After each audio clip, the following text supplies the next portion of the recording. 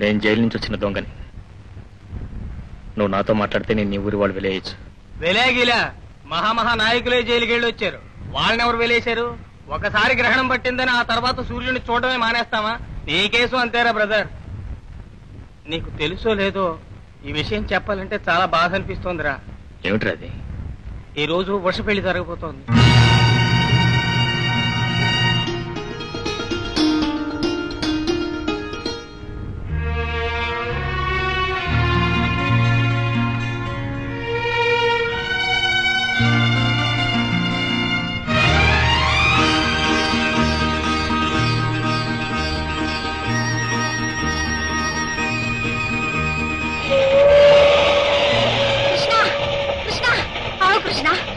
కృష్ణ నేను ఆరు నెలల నుంచి నీకోసం కళ్ళు కాయలు కాచేలా ఎదురు చూస్తుంటే మా ఇంటి ముందుకు వచ్చినట్టే వచ్చి ఎందుకు మాయమయ్యావు కృష్ణ? ఏమిటి కృష్ణ? ఇన్నాళ్ళ తర్వాత కలుసుకున్నాం కదా అని. నేను పొంగిపోతుంటే నువ్వు ఉలుకు పలుకు లేకుండా అలా ఉండిపోయావెందుకు నీ జీవితానికి ఒక కొత్త దారి ఏర్పడుతున్నప్పుడు. ఆ దారి కట్టు రావటం నాకు ఇష్టం లేదు. కొత్త దారేమిటి?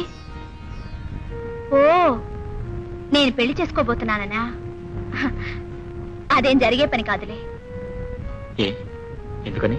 నేను ఈ పెళ్ళి చేసుకోను గనక. కృష్ణ నువ్వన్నట్టుగా నా జీవితానికి కొత్త దారి పాత దారంటూ రెండు దారులు లేవు.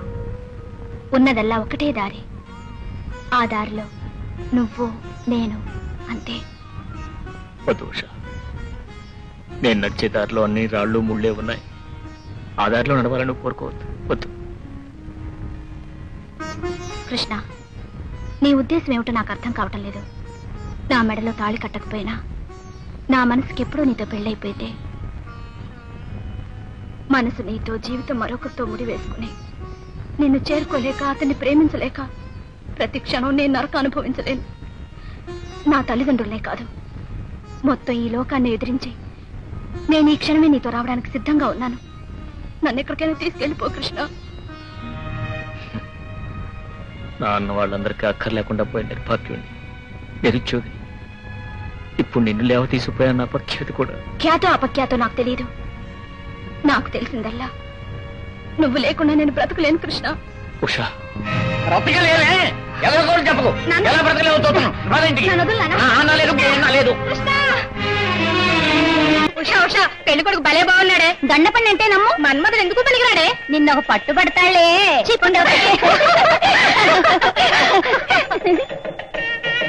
లక్ష్మి.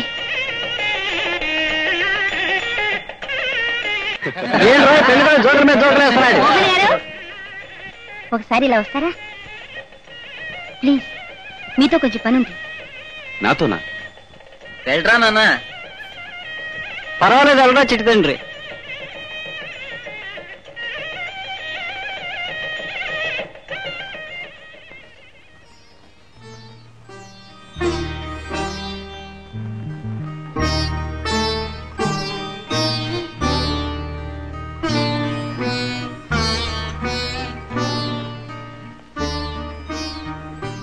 సాహసించి మిమ్మల్ని ఇలా పిలిపించినందుకు మన్నించండి. ఇందులో మన్నించడానికే ఉంది. ఎందుకు పిలిపించారు? ఆడపిల్ల సిగ్గు బిడియం విడిచిపెట్టి మనసులోని మాట చెప్పుకోవాల్సిన అవసరం అప్పుడప్పుడు ఏర్పడుతుంటుంది. అలాంటి అవసరం ఇప్పుడు ఏం ఏర్పడింది?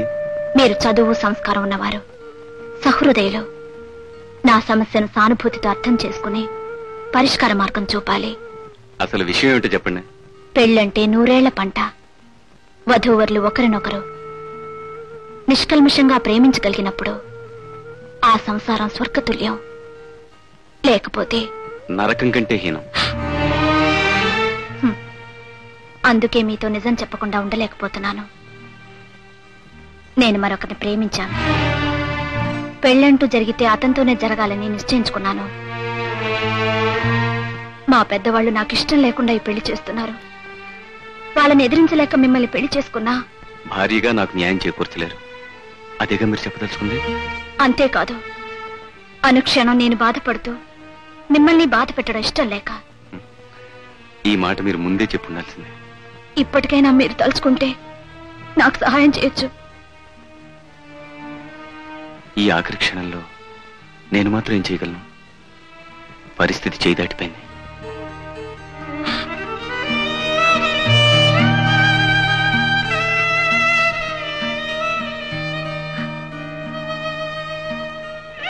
అయ్యా పెళ్ళి మనం తీసుకురండి. బాబు ముహూర్తం వేళైంది. రా బాబు. రా బాబు.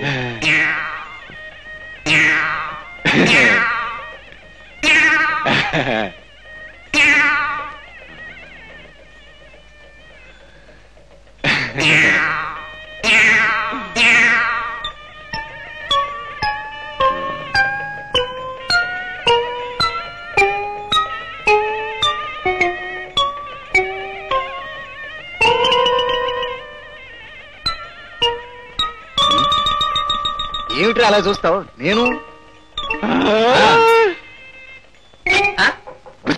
బాబు తప్పు. తప్పు.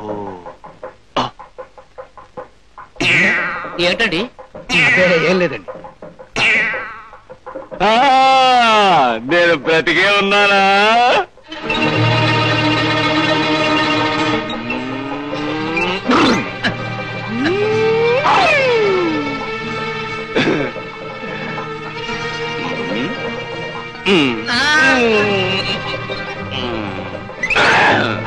ఏమిటి బావగారు? ఏమిటి ఇదంతా?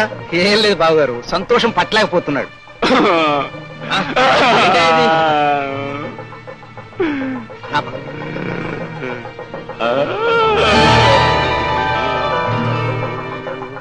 చూడైనా ఈ అక్షంతలు తీసుకుని ఈ కలిసి మీద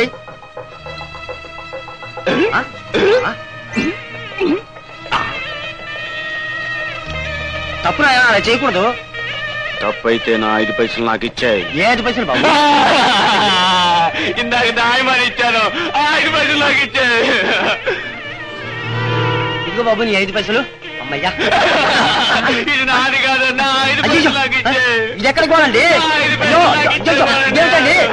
అయ్యో అయ్యో ఏ అయ్యా ఇదేం- ఇది ఎక్కడికి పోవాలి బాబు? అయ్యా నన్ను పంపించండి వేరే పోవాలి. అయ్యో అయ్యో అయ్యో అయ్యో ఇదేమిటండి బాబు? బాబు ఐదు పైసలు ఏమిట్రా ఇందాక ఇచ్చాను ఐదు పైసలు ఐదు పైసలు నాకు ఇచ్చేవారు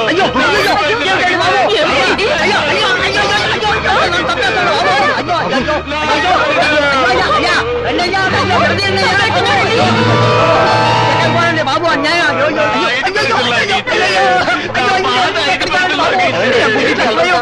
ఏమైందో నాకు అయ్యో, వాసి అయ్యో. పెట్టడం లేదు ఏమిటండి బాబు? ఈ పిచ్చి శాస్త్రవేత్తలను ఈ పిచ్చి ఇతనికి ఎప్పటికే ఉండి ఉండాలి. ఆ, ఆ, ఆ, పిచ్చి. నాకు పిచ్చి. మా నాన్నకు పిచ్చి. నీకు పరమ పిచ్చి. పెళ్ళి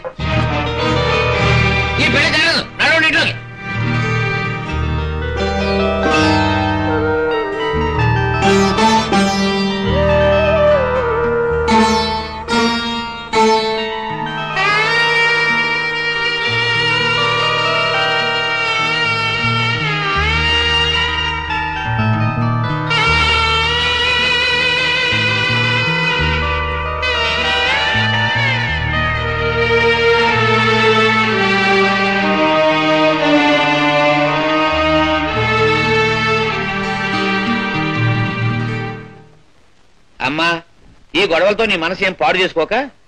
నువ్వు పట్నం వెళ్ళి చదువుకుంటే బాగుంటుందని నేను అనుకుంటున్నానమ్మా. ఏమంటా? నాకు అలాగే అనిపిస్తుంది నాన్న. ఇంకే? అలా అయితే మన ఇంట్లోనే ఉండి చదువుకుంటుందన్నయ్య అలాగే తమ్ముడు. అమ్మా నీ ఇష్టం వచ్చినంత వరకు చదువుకో. నీ ఇష్టం వచ్చినప్పుడు పెళ్ళి చేసుకో. ఏమ్మా? ఏవే ఆ, ఈ మాట ఎప్పుడోనుంటే ఈ పాటికి నా బిడ్డ ఓ బిడ్డను కానుండేది